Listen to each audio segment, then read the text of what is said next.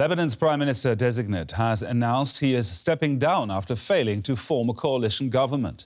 The decision threatens to sink Lebanon deeper into crisis. The country remains without a government for nearly a year. The last one was forced to resign after the huge explosion at a Beirut port last August. Political squabbling has repeatedly obstructed efforts to form a government and sent the currency to unprecedented lows. Imported medicine and fuel are increasingly increasingly unaffordable.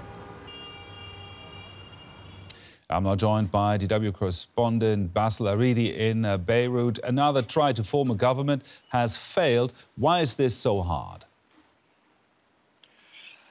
According According to the designated or former prime minister now, in an interview last uh, night with a local uh, TV channel, he said that the reasons behind this failure due to first of all that the Lebanese president refused to take the cabinet the the the cabinet uh, line of 24 ministers which considered Hariri by Hariri that it is the, the, the best government or the best cabinet to do the reforms and to take the, the, uh, Lebanon out of its crisis. Second, that the main obstacle that the, the president and his son-in-law, Gebran Bassil, the former uh, Minister of Foreign Affairs, refused to uh, to uh, refuse that Hariri will name two of the Christian ministers. Third, that uh, Hezbollah, he accused Hezbollah, Saad Hariri accused in his interview last night, Hezbollah, that he didn't put enough pressure to form the new government. So this is what announced by Saad Hariri. But on the other hand, we have some other obstacles, which is uh, uh obvious that the current situation, the crises in Lebanon, is so hard for anyone to take to handle it. So it is a suicide mission. Hmm.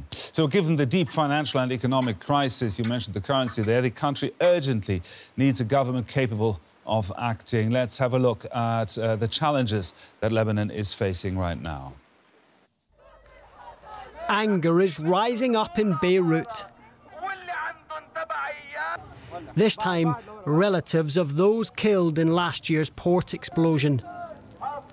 Taking their protest to the courts, demanding that immunity granted to senior politicians is lifted so their loved ones can finally get justice.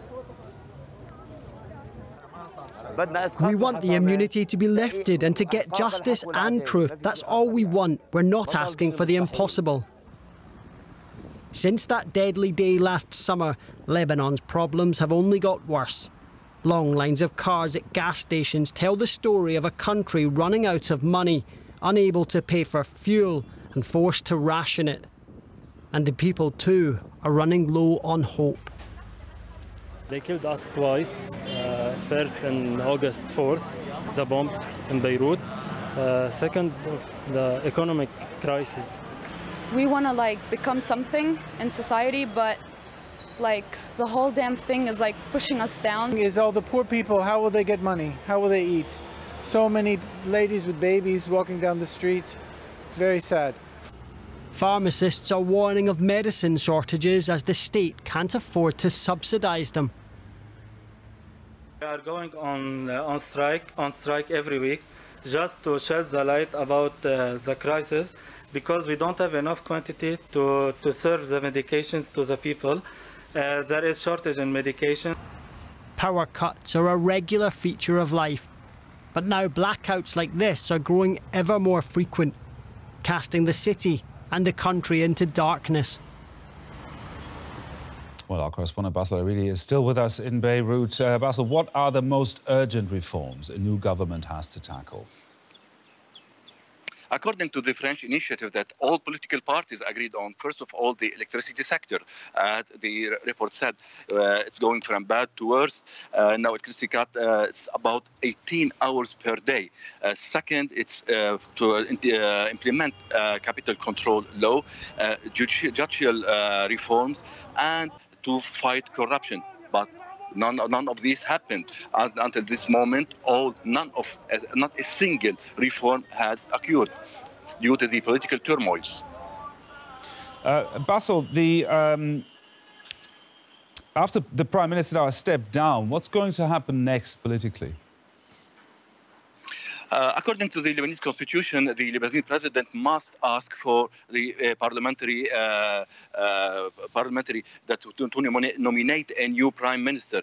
But as well, this is not an easy task. First of all, uh, as I mentioned before, it's a suicide mission according to the political turmoil, inability to do reforms, an ability to uh, to uh, to act according to the French initiative and to implement what has been demanded by the international community. So it's a very hard task. Uh, until this moment, we can say that uh, the, the Lebanese uh, economy in its state of free fall and the uh, in uh, moving forward toward a political chaos. DW correspondent Bassel Aridi in Beirut. Thank you very much, Bassel.